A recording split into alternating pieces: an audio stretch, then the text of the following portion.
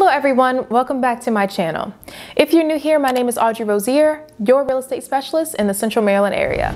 In today's video, I'm going to be discussing some great things that you can do if you are ever in our lovely Ellicott City. If you are unfamiliar with Ellicott City, a description could be that it is a beautiful area located in Howard County, Maryland.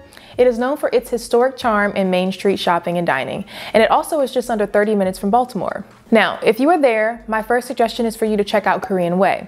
It's a state designated five mile stretch on Route 40. It's named that way because of the more than 166 Korean owned businesses that are largely concentrated within the five mile stretch. Many offer authentic Korean cuisine, goods, services, and cultural and recreational activities. Next up in number two is to make sure you stop by Clark's Elioak Farm. It's a beautiful family-friendly farm and home of many attractions from the Enchanted Forest. They have a petting farm, hay rides, pony rides, plus their never sell the land grass-fed beef. Admission is currently $6 per person and a little extra if you decide to take advantage of the rides. The next one is going to be a park recommendation, and this park is arguably one of the best parks in the state of Maryland. You have to check out Centennial Park. This park has won awards for its natural design and sensitivity to nature. The park is made up of 337 acres and has a stunning man-made lake spanning over 54 of those acres. Visitors can walk, run, or bike the 2.6 mile paved pathway that encircles the lake or the 7.3 miles of connecting paved pathways that link to the surrounding neighborhoods. The park has four main areas which include the north, south, east, and west, each with their own entrances. Centennial Park has been around since 1987 and is perfect for any occasion.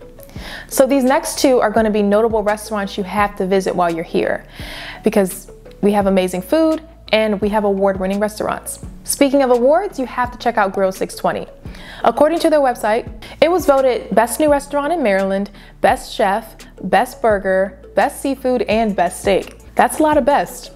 According to their website, it is an American grill featuring a seasonally inspired menu with a focus on seafood and steaks. You'll also enjoy a rustic look with their high-end style approach, and honestly, I just think it's a very unique spot. Another restaurant you should visit is hands down Mad Chef Kitchen and Bar. And according to their website, there you'll be able to enjoy handcrafted cocktails and traditional dishes with a modern flair.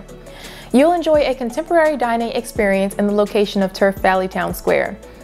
If you are ever in Ellicott City, I hope that you take my advice and check out some of these places that I suggested.